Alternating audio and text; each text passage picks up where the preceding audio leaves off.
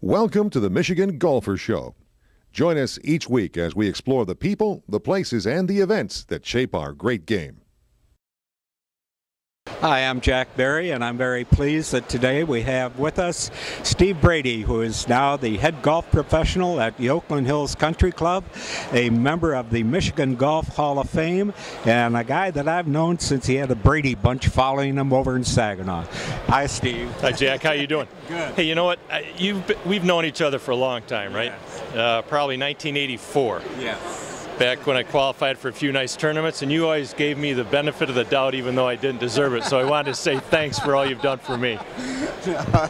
Uh, Steve has won. He's won everything there is to win in Michigan, and he's played in a lot of national tournaments. And uh, back in those days, there was the television show, The Brady Bunch, and so all of uh, Steve's uh, family and his and his friends and everything had T-shirts with the, the Brady Bunch on it, and followed them around the golf course. Yep. You know, it, it's funny at the Buick Open that that first year that we played, the first round I played well, and uh, the second day, my father-in-law said, "All right, every birdie that Steve makes, we're going to buy a beer at the beer tent."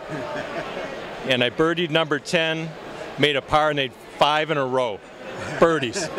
so I think I had half the gallery a little bit staggered, drinking a lot of beer out there. But that was that was a great time in my life, and uh, I'm fortunate to have been there.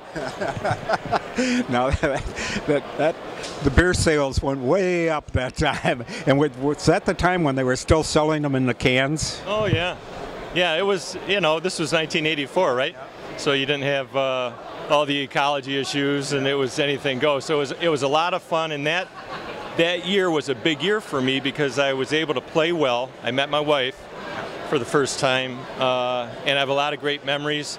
And it, and it got me uh, maybe a little bit of exposure on the Michigan uh, scene in golf, and maybe on more of a national level too. So I was I was excited that year, and I'm, uh, you know, now it's you know what 30 years later, and uh, I'm still playing golf. So so everything's good. Well, you started out with uh, Tom Stewart, didn't you, at Bay Valley? Oh yeah, I played golf at Saginaw Valley State, and Bay Valley was our home course. Right. and uh, we, we had access to the course, we had access to, to the range. I worked the range, did everything there. My wife Judy ran the beer cart, and that's where I met her. So she was taking classes at Ferris State, and uh, we met. One thing led to another. Three kids later, here we are at Oakland Hills Country Club. So uh, we're looking forward to the U.S. Amateur Championship in August. Well, you've been you've been at a few other clubs, and now when did you get to Oakland Hills? Well, I worked at Bay Valley Golf Club for six years, played the tour for a number of years. The business plan wasn't the best because I was spending more money than I was making. So uh, kids came along. I worked a year at Grosse Ile Country Club, played the Ben Hogan Tour the first year that it, it came out. Uh, then I went to Detroit Golf Club, worked for six years for John Traub. And then after the 96 U.S. Open at Oakland Hills, Pat Croswell and I uh, spoke that winter, and he says, what do you think about coming to Oakland Hills? And I didn't know anybody at Oakland Hills. And uh, I've been there 19 years as the, the teaching guy, director of instruction. This past year, Pat retired after 30 years as the head pro. Uh, and the membership decided they wanted me to be the head pro, and I, I'm uh, extremely happy about it. Well, you followed uh, some pretty good people uh, like uh, Al Watrous and uh, Mike Souchak and uh, uh, Al Mengert. No, the, the list of head professionals there is, is uh, it's not long, uh, but Walter Hagen was the first golf professional at Oakland Hills. And, you know, I, I grew up in Saginaw. I, you know, my parents didn't have a lot of money. I had a, I had a nice childhood, but, uh, you know, dreaming about coming to Oakland Hills and being the head pro, I, that was never on my radar. And now that it's here, especially for the, our 100th anniversary of Oakland Hills, our centennial year, uh, the PGA of America's 100th uh, anniversary, their centennial year. Uh, I've been a member of the PGA for 30 years, and the U.S. Amateur in August. There's a lot of things going on this year. So, uh, for my first year at Oakland Hills, I got a lot on my plate, but I have a great staff. Uh, Dave Driscoll is coming back. He's he's A plus. He's been a PGA member for a long time. Christy Wright's going to be our merchandiser. Uh, Chris Thompson will probably move into my spot and do a lot of the teaching and uh, and then we have other support staff. But uh, Pat Croswell has been very supportive of me for a long time, and I can't thank him enough. Well, now starting out with the one of the the greatest championships in all of golf, and with guys coming from all over all over the world to qualify and, and to get into the United States Amateur, this sounds like a real busy uh, season for you to start right out. Yep, it's uh, you know it's the U.S. Amateurs. Uh, that's where it all started. U.S. Amateur, then they had U.S. Opens, then it was the pros against the amateurs for a while, and uh, but we've been preparing for the U.S. Amateur for probably four or five years now. The club has, and part of the reason, or the big reason, we have major championships at Oakland Hills is, you know, the course speaks for itself. Beautiful South Course, the Monster. We have the North Course, which is just as good as any any course in the country now, uh, but it's the membership. Membership the volunteer committees. We have about a thousand volunteers. Uh, Lee Jewett's our general chairman this year, and it's you know it's a process to to get all this together. But we've been at it about four years now, getting ready for this tournament. Looks like it's going to be a great event.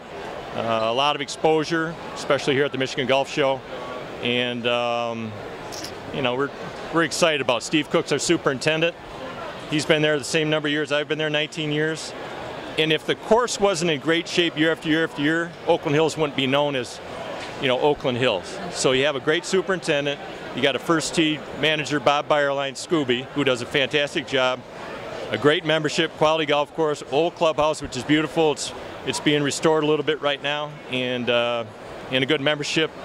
I'm just a small part of the puzzle, but uh, you know I get to give interviews every once in a while, so so it's nice. Well, it is uh, the first Open that I, I covered was 1961, uh, year after uh, a year after Hogan just missed winning uh, out at uh, Cherry Hills. So uh, it's, it was a great a great experience way back then, and Oakland Hills has has just done nothing nothing but get uh, better sense. And it's world renowned, and I think that the club is looking forward to this uh, championship, uh, showing that another Open should be at Oakland Hills. Yeah. You know, it's it, it's funny. Oakland Hills has always been known as hosting major championships, U.S. Opens, Ryder Cups. 2004 is a big deal. Uh, Padraig Harrington, 2008, the PGA Championship most recently. But uh, you know, the club loves having major championships. We probably don't like having them every year, but it's uh, the history of the club, uh, the heritage, the legacy, uh, uh everything that Oakland Hills stands for is, is really a nice thing. It's not just a bunch of rich people having a good time. They're extremely generous in what they do.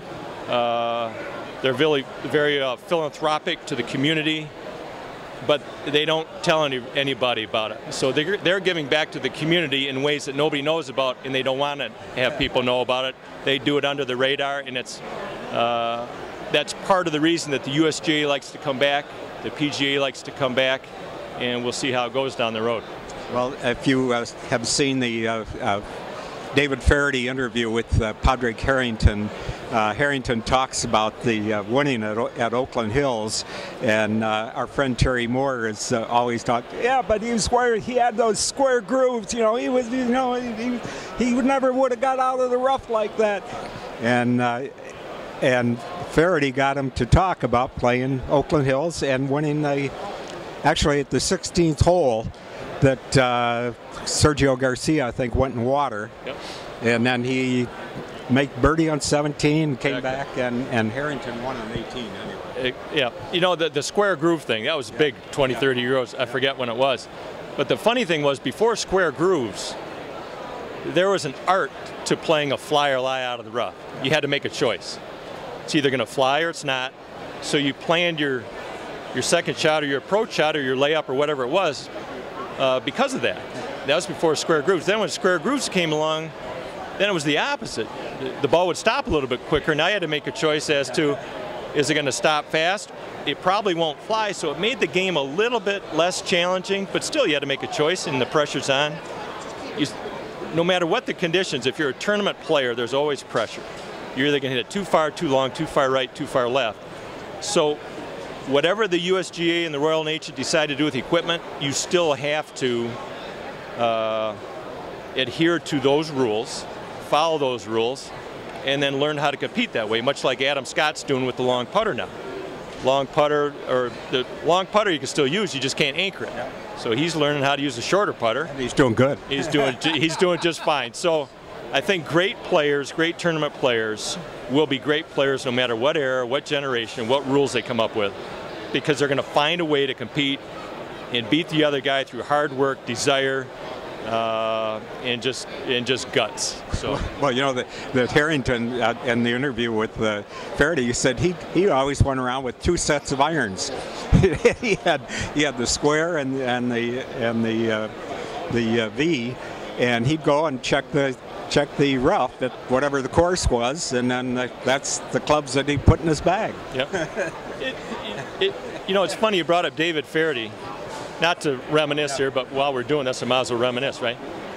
So after I graduated from college in 81, I had a chance to go play overseas, South America and South Africa. Well, South America, I got to play Jerry Pate, Mark James, Johnny Miller, George Burns, not the comedian, but the, the, the tour player. Then we go to South Africa, and that's where a lot of the European guys came in the winter.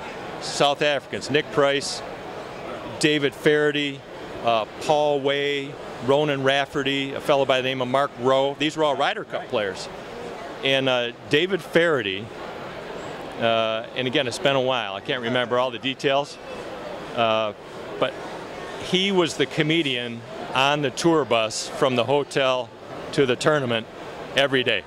So all you want to do is sit next to David Feherty, go out and have dinner with David Feherty and have a good time. But oh yeah, he was he was he was a little bit a little bit left to center, but uh, he was a great guy and a tremendous player.